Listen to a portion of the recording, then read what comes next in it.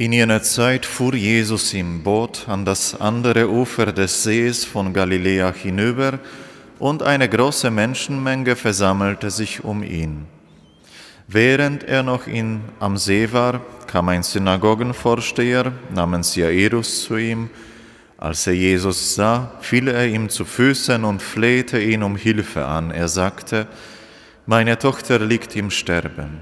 Komm und leg ihr die Hände auf, damit sie wieder gesund wird und am Leben bleibt. Da ging Jesus mit ihm. Viele Menschen folgten ihm und drängten sich um ihn, darunter war eine Frau, die schon zwölf Jahre an Blutungen litt. Sie war von vielen Ärzten behandelt worden und hatte dabei sehr zu leiden.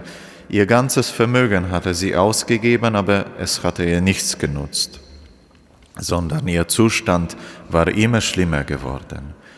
Sie hatte von Jesus gehört.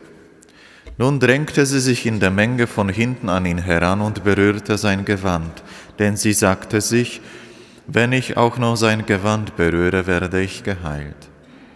Sofort hörte die Blutung auf und sie spürte deutlich, dass sie von ihrem Leiden geheilt war.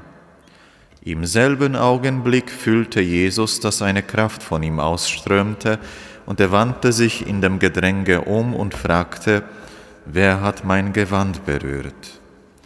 Seine Jünger sagten zu ihm, du siehst doch, wie sich die Leute um dich drängen und da fragst du, wer hat mich berührt? Er blickte umher, um zu sehen, wer es getan hatte. Da kam die Frau zitternd vor Furcht, weil sie wusste, was mit ihr geschehen war. Sie fiel vor ihm nieder und sagte ihm die ganze Wahrheit.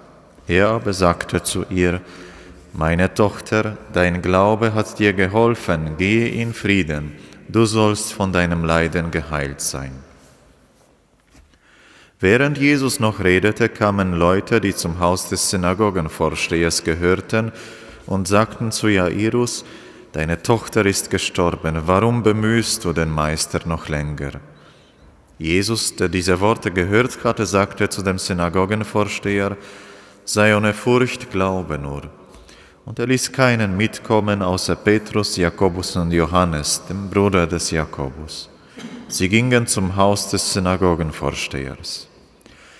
Als Jesus den Lärm bemerkte und hörte, wie die Leute laut weinten und jammerten, trat er ein und sagte zu ihnen, Warum schreit und weint ihr?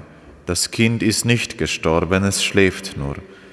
Da lachten sie ihn aus. Er aber schickte alle hinaus und nahm außer seinen Begleitern nur die Älteren mit in den Raum, in dem das Kind lag. Er fasste das Kind an der Hand und sagte zu ihm, Talita cum, das heißt übersetzt, Mädchen, ich sage dir, steh auf. Sofort stand das Mädchen auf und ging umher. Es war zwölf Jahre alt. Die Leute gerieten außer sich vor Entsetzen, doch er schärfte ihnen ein, niemand dürfe etwas davon erfahren.